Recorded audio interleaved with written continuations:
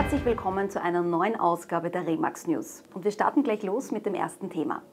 Die Corona-Krise wird zu einer spürbaren Entspannung am Immobilienmarkt beitragen.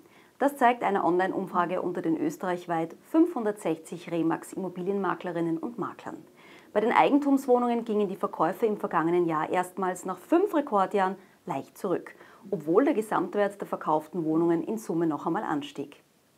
Laut dem Remax Immospiegel wurden im letzten Jahr 49.832 Wohnungen verbüchert. Das sind um minus 0,8 Prozent weniger als im Jahr 2018.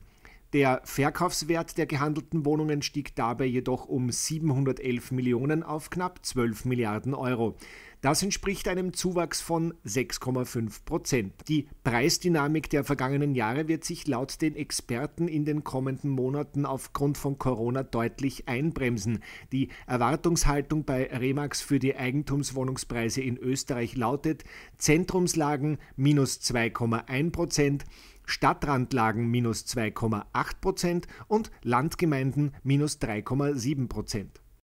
Der Wohnungsmarkt wird sich also auf hohem Niveau etwas einbremsen. Auch der Markt für Einfamilienhäuser hat seinen vorläufigen Höhepunkt erreicht. Im Jahr 2019 sind die Verkäufe von Häusern im Vergleich zum absoluten Rekordjahr 2018 zurückgegangen. Die Verkaufszahlen vom letzten Jahr liegen aber noch immer weit über den Zahlen von 2017 und 2016. Der Einfamilienhäusermarkt ist im Jahr 2019 im Vergleich zu 2018 um minus 6 Prozent abgeflaut. Die Anzahl der Verkäufe liegt aber noch immer knapp 9 Prozent über dem Jahr 2017 und fast 3 Prozent über 2016. Den Käufern waren in Summe die Einfamilienhäuser in Österreich 3,46 Milliarden Euro wert. Das sind um 170 Millionen weniger als im Jahr zuvor. Der durchschnittliche Einfamilienhauskaufpreis lag 2019 bei 251.870 Euro. Das entspricht in den letzten fünf Jahren einer Steigerung von plus 31,6 Prozent und im Zehn-Jahres-Vergleich einer Preissteigerung von 59 Prozent.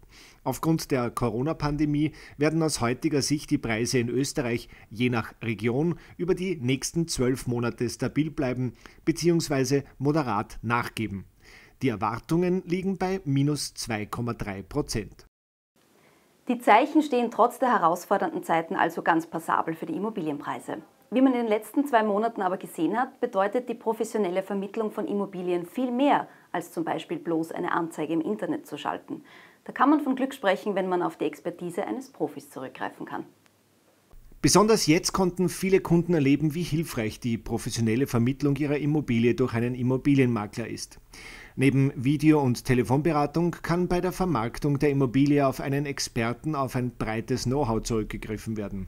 Die profunde Marktwertermittlung ist besonders in der aktuellen Situation ein wesentlicher Schlüsselfaktor beim Verkauf. Aber auch die vielen digitalen Möglichkeiten bleiben einem Privatverkäufer verwehrt. Zum Beispiel 360 Grad Online-Touren bzw. Videobesichtigungen oder Drohnenaufnahmen zur optimalen Präsentation der Immobilie.